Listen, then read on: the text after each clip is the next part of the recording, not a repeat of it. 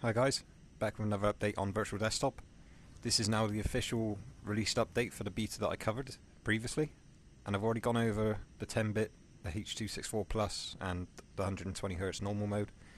Um, I don't know what magic Virtual Desktop has managed to work this time, but in my initial impressions, when I changed scene like this, I was having a lot of encoding latency and pretty much could not use it on my network setup for the for the 10-bit mode. This is now working, and it's holding 120 FPS solid at 35 milliseconds when I'm not recording. So I have absolutely no idea what magic they're doing over at Virtual Desktop, but this is incredible. Um, as a DisplayPort snob, I'm actually saying this is incredible.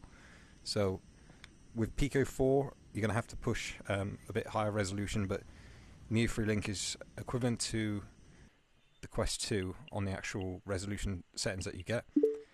So I'm at Ultra, I've got 120 FPS, I've got the bitrate maxed out, um, the Snapdragon Game Super Resolution enabled, but it's not actually doing anything because I'm at Ultra. Space Warp is disabled, sharpening's off because that makes the image better, um, for me anyway. Um, that is personal preference when you're not using the, the upscaling.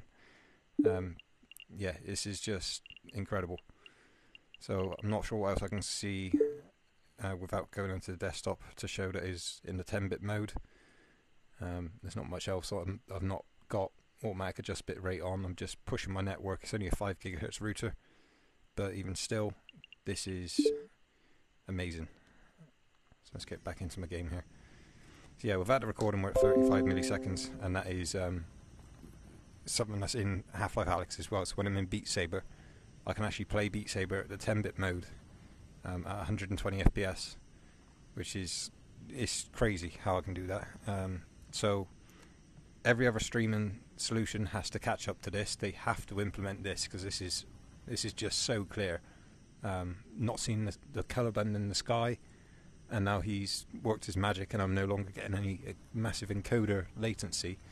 Um, this is a RTX 3080 Ti, so it's still a powerful-ish GPU. Um, and it was struggling before in the beta, so he's definitely done some tuning. Um, whether it looks as good or not, I don't know, but then again, it, it wouldn't matter because I couldn't actually use it before.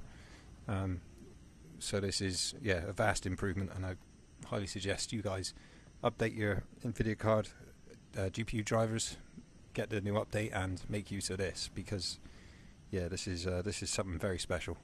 So once again, thanks for watching, and thank you very much to the developers at Virtual Desktop. I don't know how you guys do it. Cheers.